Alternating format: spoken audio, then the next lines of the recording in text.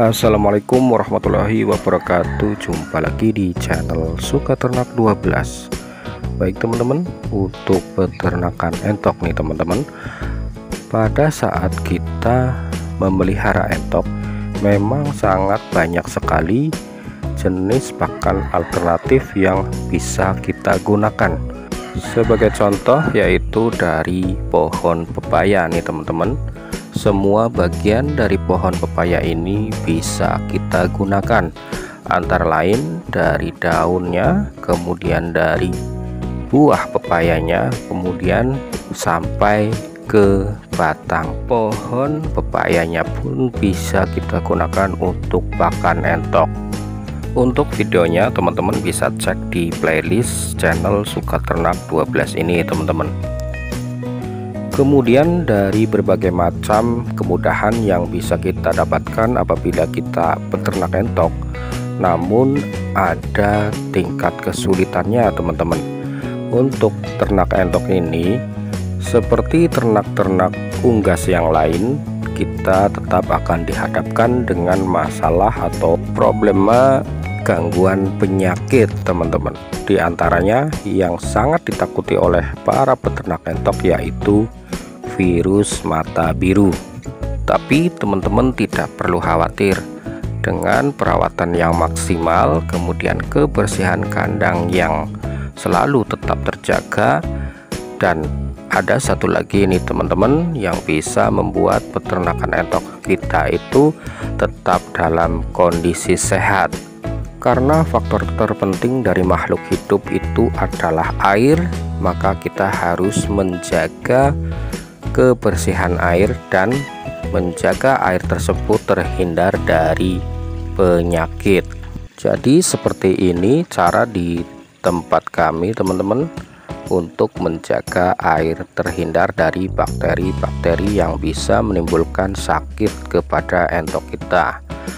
Nah untuk airnya kita akan campurkan dengan bahan ini teman-teman teman-teman bisa gunakan dari produk yang lain.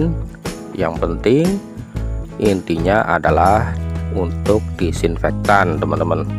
Jadi untuk takarannya teman-teman bisa lakukan yaitu 7 ml bahan yang kita gunakan dicampurkan dengan air 100 liter teman-teman. Perbandingannya seperti itu karena kita gunakan untuk minum hewan ternak. Kalau kita gunakan untuk menyemprot kandang kita bisa tambahkan lagi dosisnya teman-teman.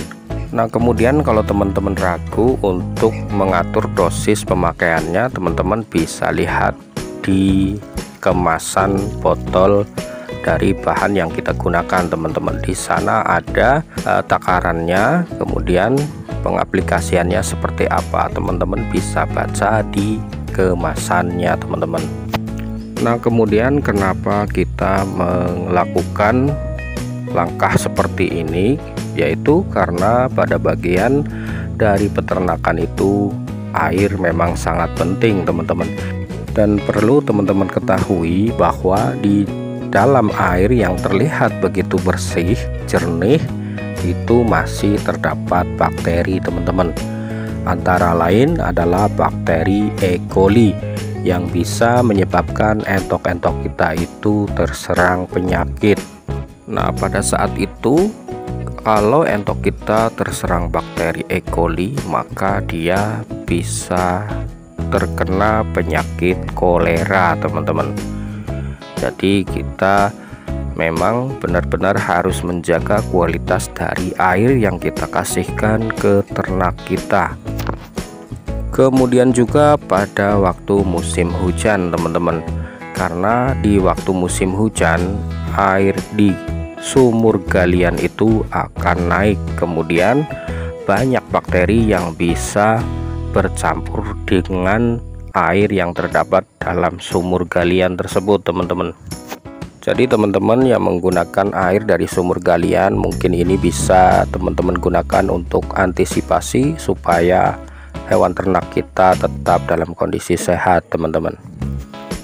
Kemudian ini berlaku juga untuk teman-teman yang peternak entok ataupun ternak unggas yang lain dengan menggunakan sumber air dari sumber yang lain kita bisa cek apakah sudah menggunakan kaporit apa belum. Kalau memang belum kita bisa aplikasikan bahan yang kami perlihatkan tadi untuk menyeterilkan air yang akan kita gunakan untuk peternakan.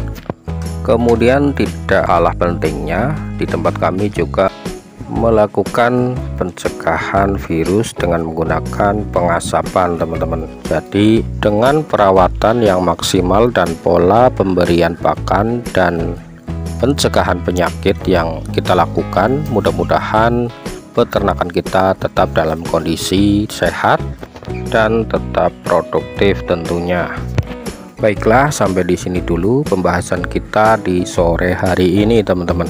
Semoga ada hal-hal positif yang teman-teman bisa ambil dan tentunya bisa bermanfaat untuk peternakan entok teman-teman sekalian. Bila ada salah-salah kata, mohon maaf yang sebesar-besarnya. Tetap semangat dan jangan lupa like, comment, share, dan subscribe-nya teman-teman. Sampai jumpa lagi di video kami selanjutnya. Salam peternakan tok, salam sukses untuk kita semua. Assalamualaikum warahmatullahi wabarakatuh.